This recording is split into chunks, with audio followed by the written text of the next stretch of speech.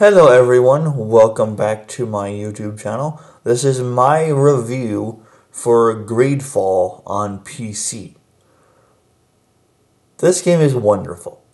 It is, I guess it would be my first Souls-like ever because it is under that tag. I don't know how it's under that tag, but it is.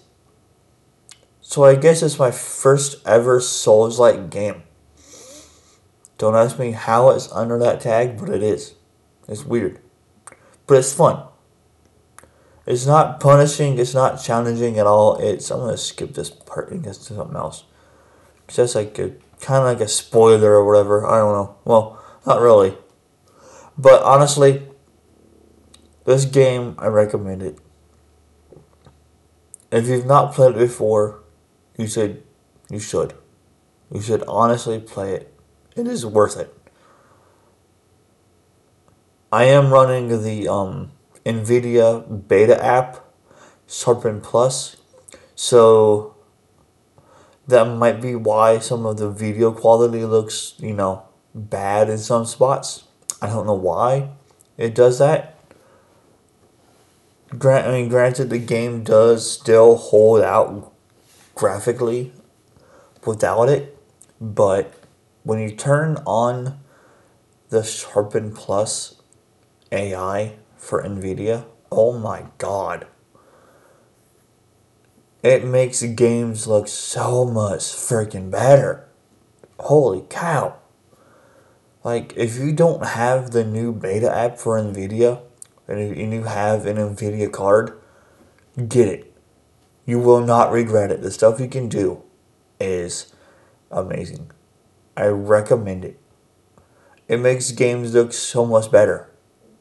Makes them feel like a brand new game. Not all games though are will allow it. But ones that do, it makes them feel like brand new games.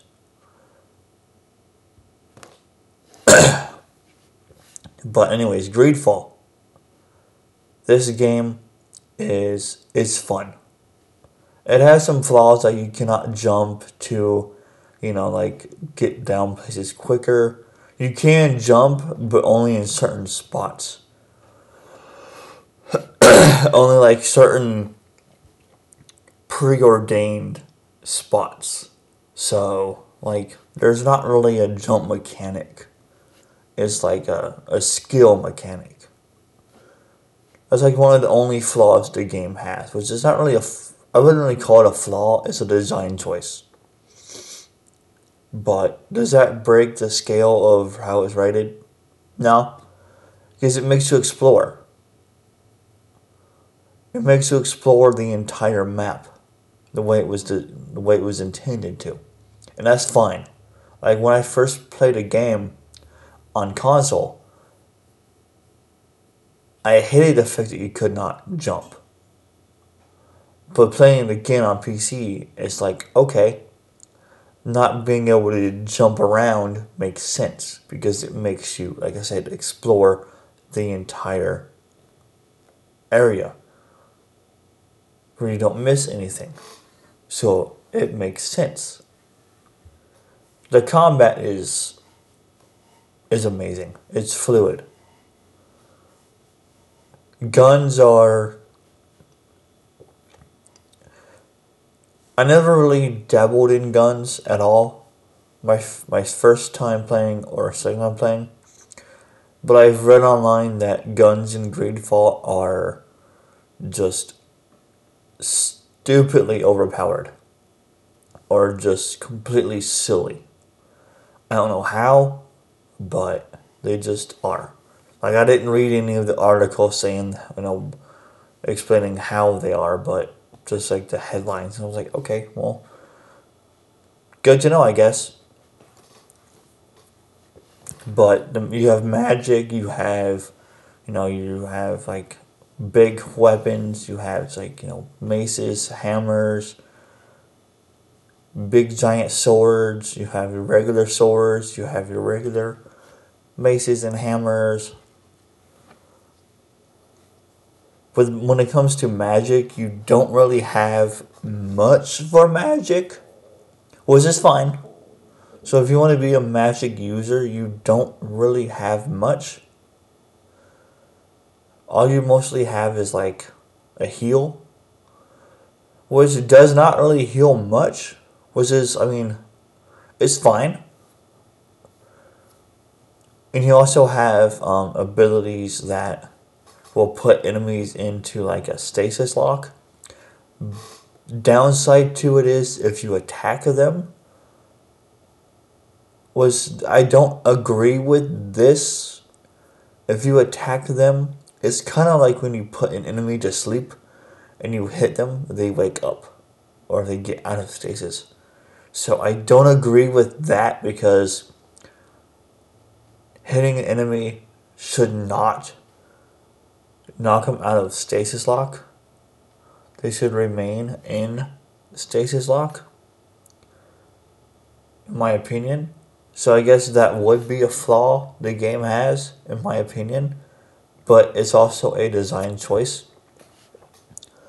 So, which I guess makes sense. I don't know. I guess it's hard to. I don't know. It's a flaw in my opinion, but it's also a design choice. So, yeah, I don't know.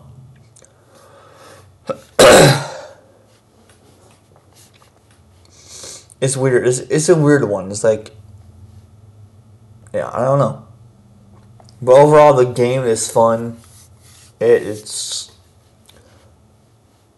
the native language that they made I don't know if they made it up themselves or if it's like an actual like native language that they used, but it's it's amazing. I love it.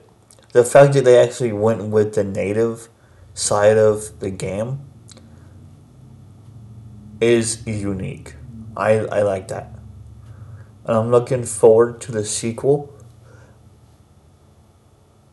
it's going to be in early access for a while. I'm not going to play early access. I'm going to wait till it's fully released and see what they do. I saw some of the combat mechanics.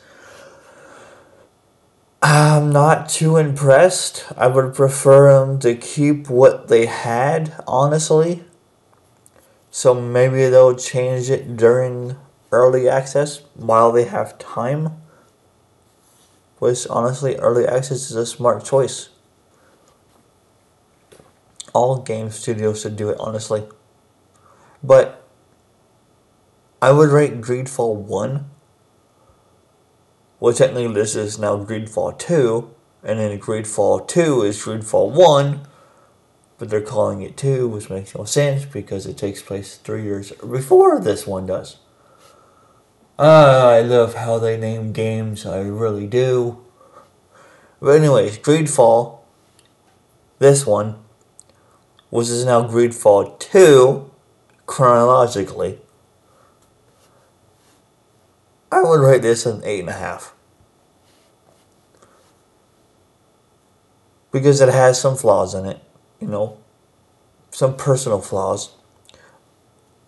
They are design choices, I'm sure, but in my opinion, they are flaws. It is unfortunate, it happens, but, anyways, this has been my review for Greedfall. I hope you guys enjoyed it, and I will see you guys next time. Have a wonderful day.